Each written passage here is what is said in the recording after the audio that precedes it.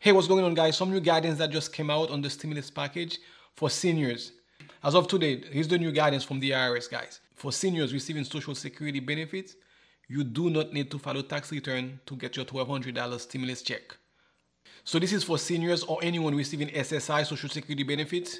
If you're already getting your SSI directly deposited to your account, you do not need to do anything. They will use that same account to wire the $1,200 to you.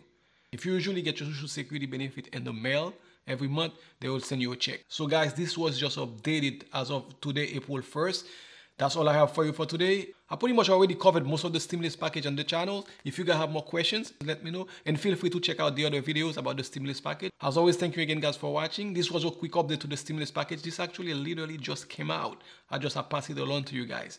If this is your first time here, my name is Paul with Sunset Realty. And I would love to have you as a subscriber. So please subscribe so don't miss any of my next videos. Stay safe guys.